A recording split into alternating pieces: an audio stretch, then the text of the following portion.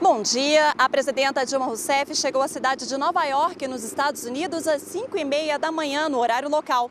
Uma hora a menos em relação a Brasília. A presidenta participa até quarta-feira, dia 25, da Assembleia Geral das Nações Unidas, de número 68. Amanhã, a presidenta brasileira vai fazer o discurso de abertura do debate geral desta sessão da ONU, que neste ano tem como tema a Agenda de Desenvolvimento pós-2015 preparando o terreno. Em Nova York, a presidenta Dilma Rousseff também vai ter encontros com empresários. O objetivo é fortalecer o comércio exterior do Brasil e também promover investimentos em áreas consideradas estratégicas no país, como como infraestrutura e logística. O ministro das Relações Exteriores, Luiz Alberto Figueiredo, acompanha a presidenta nesta viagem e vai ter encontros ministeriais do G4, aliança formada por Brasil, Alemanha, Índia e Japão, e do Bloco de Países em Desenvolvimento, BRICS, formado por Brasil, Rússia, Índia, China e África do Sul.